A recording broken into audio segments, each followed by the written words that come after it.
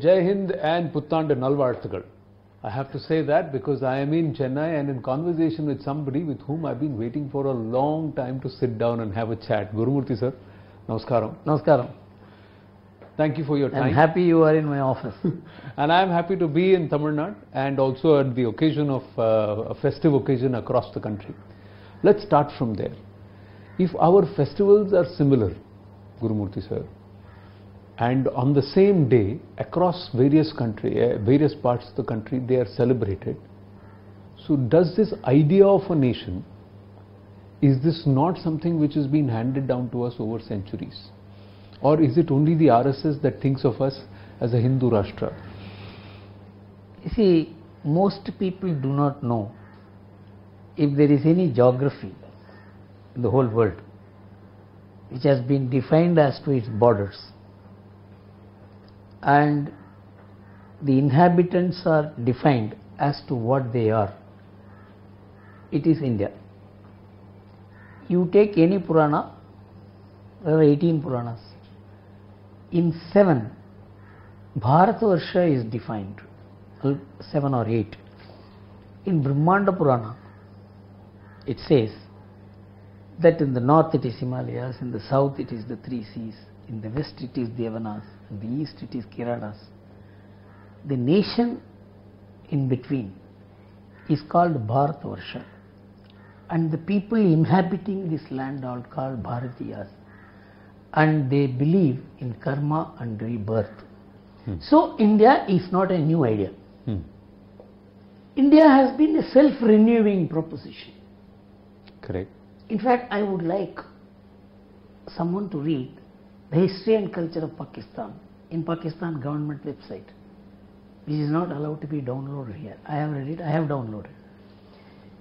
It talks about Takshaka as their forefathers, Takshashila University, where mm, Kautilya taught, where Chandragupta Maurya read, where Ashoka was a student, and how Kautilya and Alexander had a conversation.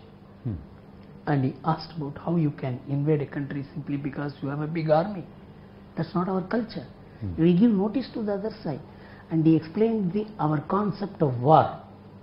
And of course, he orders his arrest and he escapes, and he finds that we have a new kind of enemy to face, and that is how he structured the new concept of Arthashastra Arthashastra. where he moved away from what Mahabharata would say as the Dharma Vijaya Hmm. To Lobha Vijaya. Lobha Vijay. That is, acquisitive war is necessary to build empire. Before that, we never had the concept of acquisitive war. Now I will go to four persons Hmm. whose credentials cannot be questioned, who have endorsed this concept. Okay. First was Aurobindo. Hmm. In his Uttarpara speech, he said very, very clearly Sanatana Dharma constitutes the foundation of Indian Hindu nationalism. Hindu nationalism and Sanatana Dharma are one and the same. If either of them can perish, India can perish. Yeah. Nobody he said can dispute Aurobindo. Hmm. He was no RSS man. He had no agenda against anybody. He had a global vision. Correct. He saw humanity as one consciousness. Why the Indian political thinkers can't discuss Aurobindo? Because if they discuss Aurobindo, they cannot practice dishonest politics. Then you come to Mahatma Gandhi, who wrote that uh, famous Hind Swaraj, Hmm. which was an imaginary conversation between the reporter and the editor, he doubling as the editor and the reporter. The question that was put to the editor by the reporter Gandhi, to the editor Gandhi, Mr. Gandhi, what are you saying? We are one nation, one country. It's all the Britisher who, through their railways and post office, turned us into one nation. And you talk about uh, India as a nation and all that. To which Gandhi gives the simplest explanation. He, is- he doesn't get into great uh, complex uh, theoretical formulation. He looks at the practical situation in India. He makes three points. One, he says that uh, the British could turn India into one government because it was a one nation. One nation. Very simple explanation. Second thing he says that our forefathers knew that you could worship God in your own home, in yourself. Hmm. You don't need a God outside. You certainly don't need places of worship. But they established these char dhams and they made Ganga such a special aspect of our civilization. A Ganga at home is considered to be something precious all over the country. And people moving millions from one place to the other without any, anybody disturbing them, actually people receiving them. Hmm. And in this sense, we were one nation in the sense in which no two Englishmen are. Can you question Mahatma Gandhi? There was no RSS then also. There is no RSS. RSS, was, RSS did not ex- propound anything. Hmm. I'll come to it. Hmm. Then the, the, the reporter Gandhi didn't leave the editor Gandhi like that. Now, Musalman have come. Hmm. You, what you are giving is a Hindu explanation. What about this? He said, introduction of a foreign religion does not alter the character of a country. We must have the capacity to assimilate them. Assimilation is the sense of nationhood and democracy. Without assimilation, they cannot be either a nation or a democracy. Then you come to Pandit Nehru in his Glimpses of World History, which is one of the most contemplative literature that Jawaharlal produced. It is not one of those evening letters. Hmm.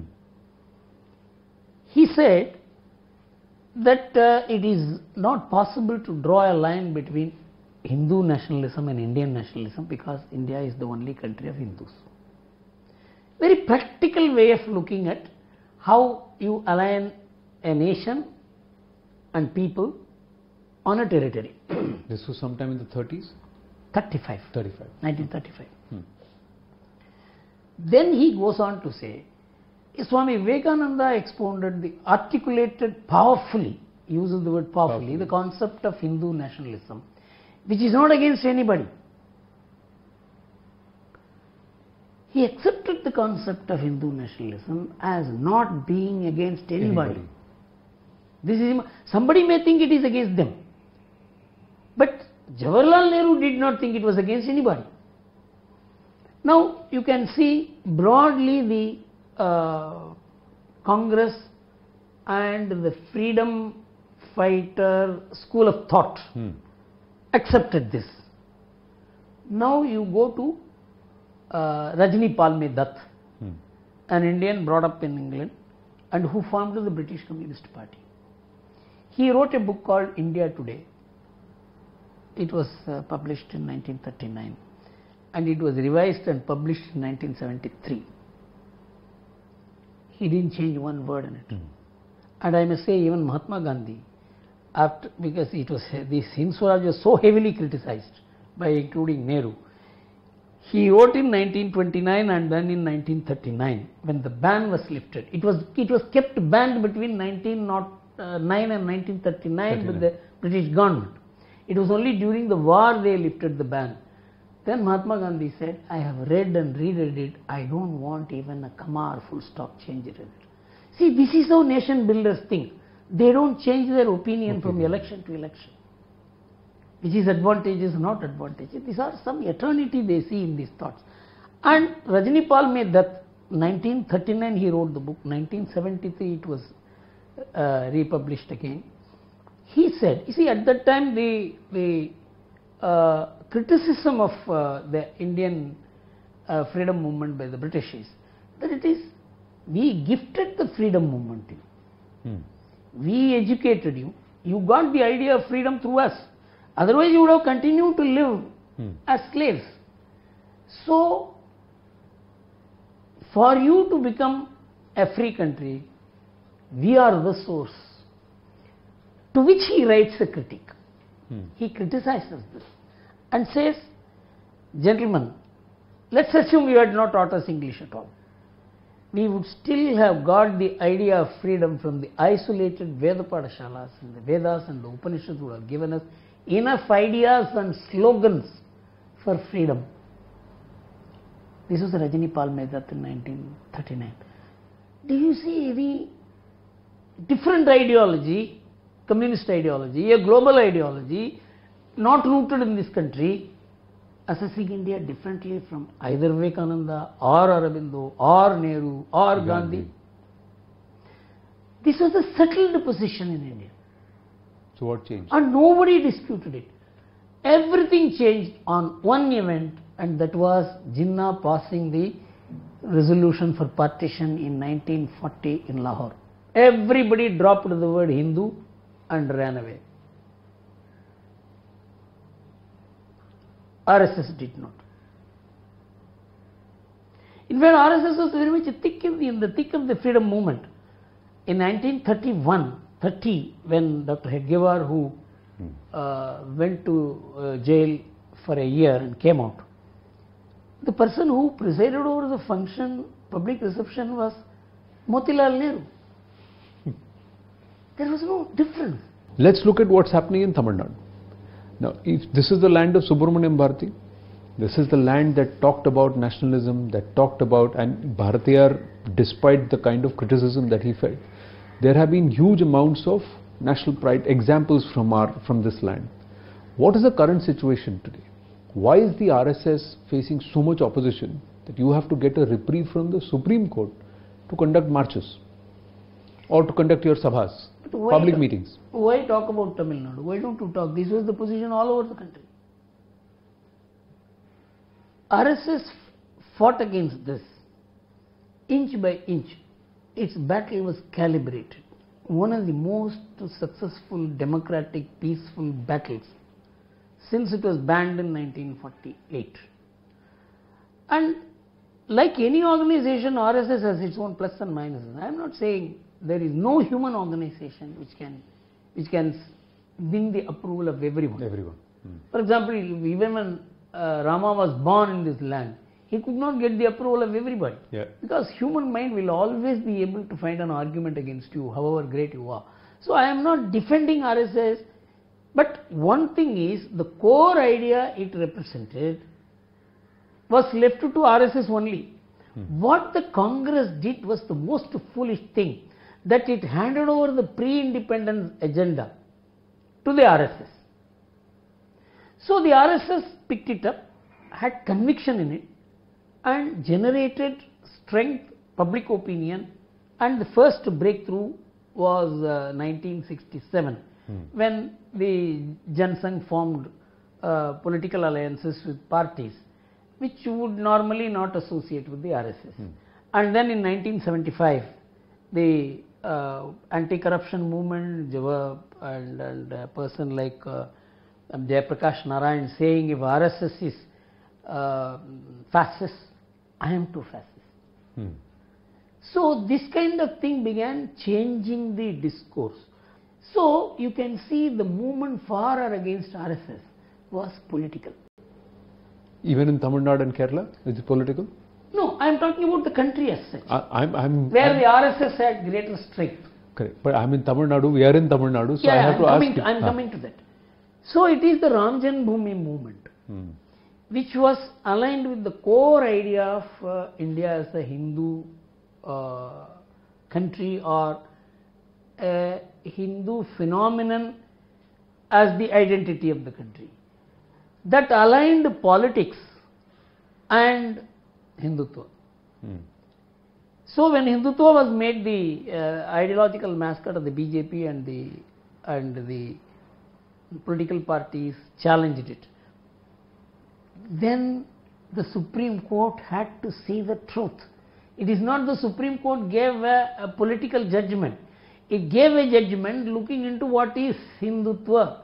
Hmm. That it, it, it quoted all literature, 1976, its own judgment, that a, a Christian member can be part of a Hindu undivided family because Hindu is a civilizational cultural term.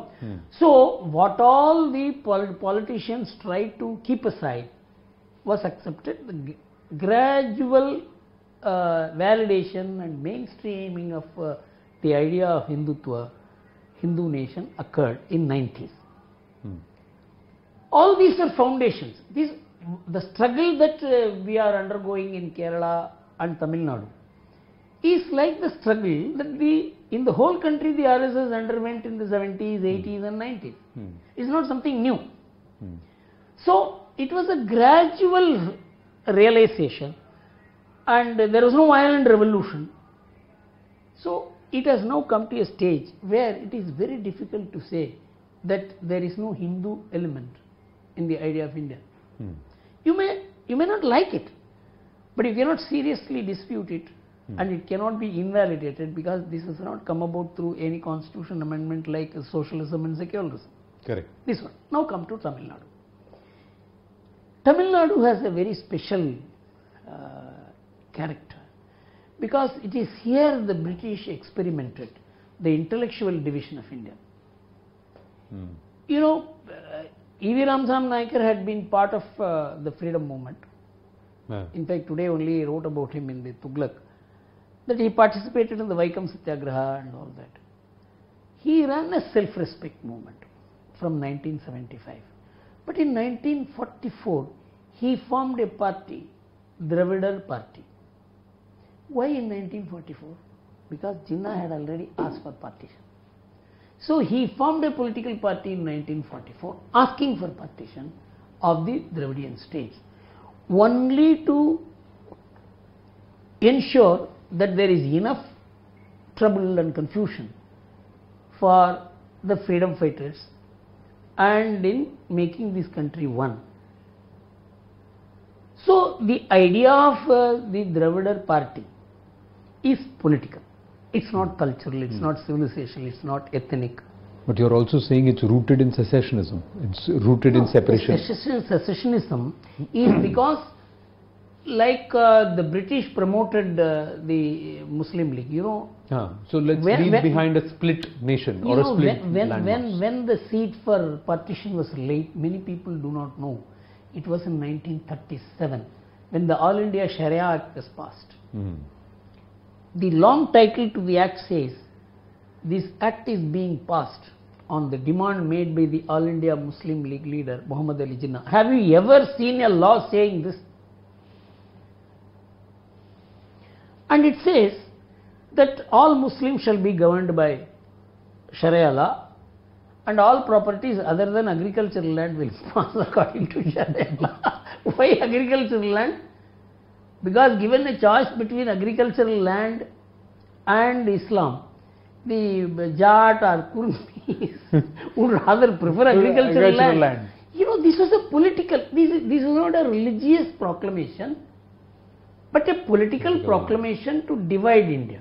But uh, till the time of Kamaraj, and uh, even at that time, see Rajagopalachari, you had uh, Sarvepalli Radhakrishnan, you had great thinkers, great leaders, statesmen, various voices who hailed from this part of the country. And I'm just taking a few names. There are so many other names who have come from here.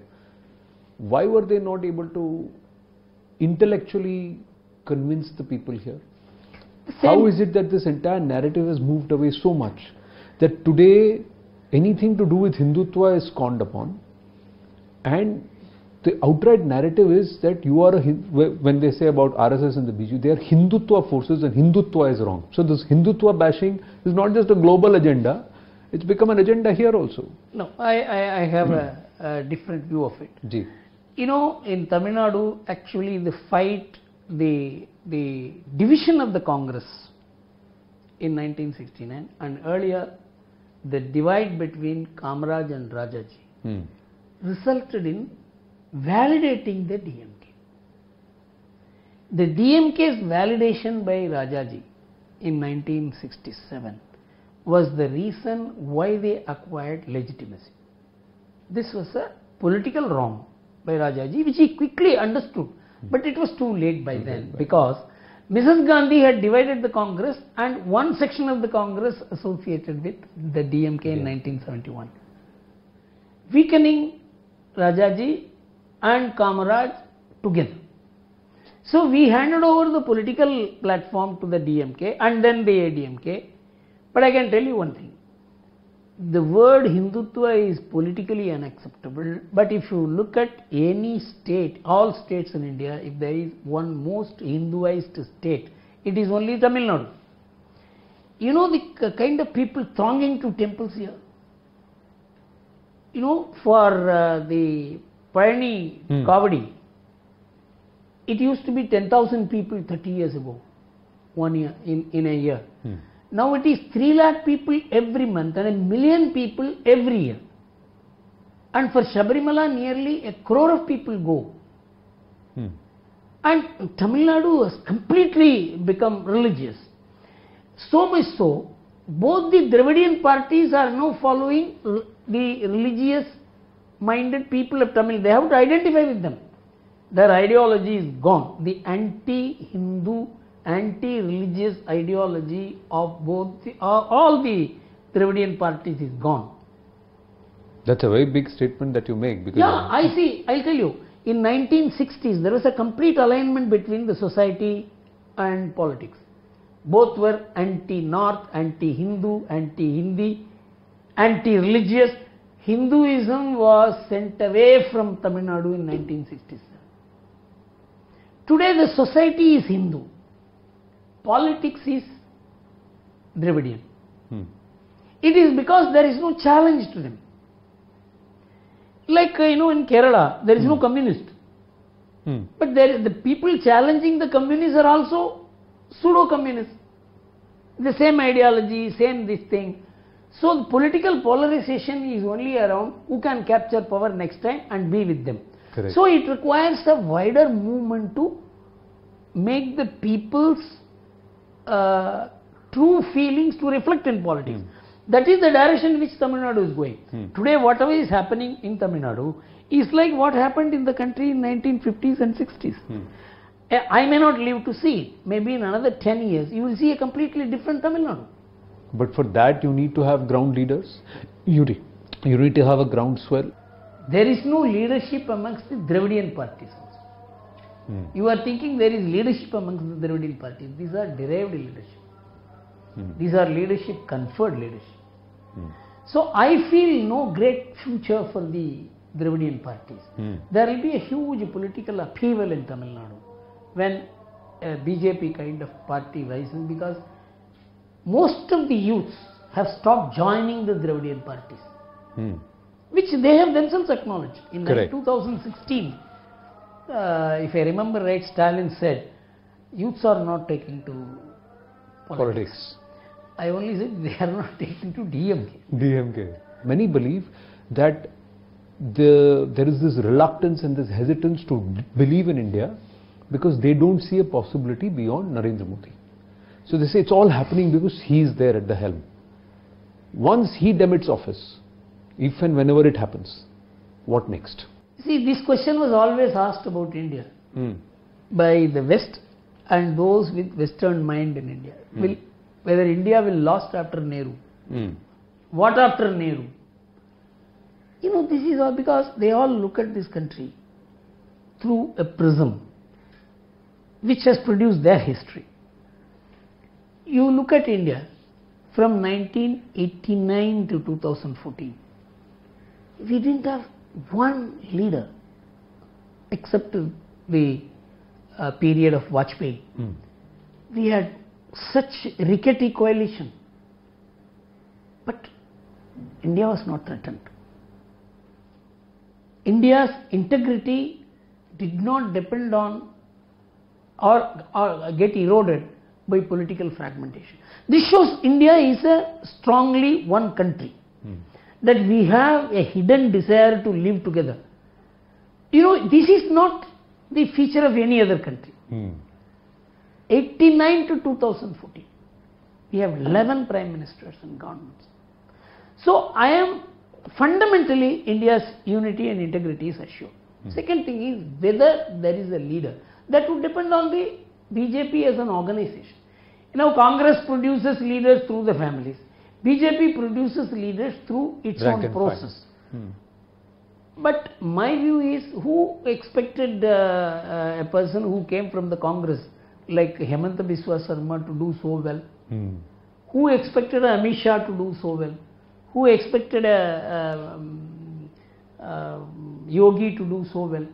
These are all potentially, that is, the leadership can be thrown by the BJP. But today's leader cannot be a leader of only India.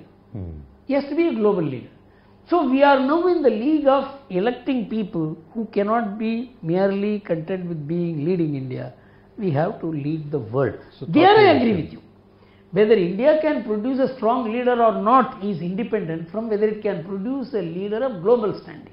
That's a challenge that I accept. But I think India can produce a strong local leader. Local leader. But you say that the, the transition or the continuum has to be about global leadership, Global leadership. not just local For which the leadership. political discourse has also to change. change. I agree. Finally, uh, something that we've uh, very strongly articulated and spoken on my show on the right stand is about the culture quotient. There is obviously the counter narrative which says, oh, this is RSSizing or the Hindutva agenda is there. You're trying to brainwash the generation. You're trying to impose religion and scriptures on people. The other thought continuum is Vedic knowledge, Vedic jnana is perhaps our own heritage. We need to bring it back. So where do you stand on this? See, this all is, uh, this is how discourse starts. This is how debate starts. Till now there was no debate at all. At least there is a debate starting. Take for instance yoga. Hmm. 25 years ago, yoga would have been purely a communal phenomenon. Today yoga is a global phenomenon. So if India has to influence uh, its people to the Indian way, the battle is at the global level. Hmm. Five Nobel laureates of science have said they find answers for quantum mechanics from Vedas and Upanishads. They are not fools. This is the answer. Five Nobel laureates. Yeah. You must teach the young that this is the view of the Nobel laureates. It's not some MP, MLA, or some mullah, or some church, or Shankaracharya. This is something very different. We have not adequately positioned the Indian civilization in the mind of the Indian people. And that is why we have this, uh, this difficulty in making our own ideas palatable to our own people. So I am of the view with the open communication, this 5% is actually a legitimization process. That this is legitimate. Hmm. This was considered illegitimate in India. It is not that this is going to greatly promote, but this will legitimize. To that extent, this policy is welcome. But this is going to revolutionize and all that is not something which I agree because it will again depend on the uh, soul of India manifesting in variety of ways which I have seen do because 40 50 years back we were all spat upon Hmm. in spite of being a very uh, uh, important figure in India, a corporate consultant of high standing, people always treated me as an untouchable. We have moved far away from that position. So I'm sure that we will continue to progress because the world is sliding as compared to uh, where we stand because they have no central philosophy to run the world. On that very positive note, on this very festive day, uh, thank you very much for your time. Wonderful conversation. Thank you so Uh. I'm just going to take one promise from you that we've got to do this more often. Okay. Thank you. thank you very much. Thank you.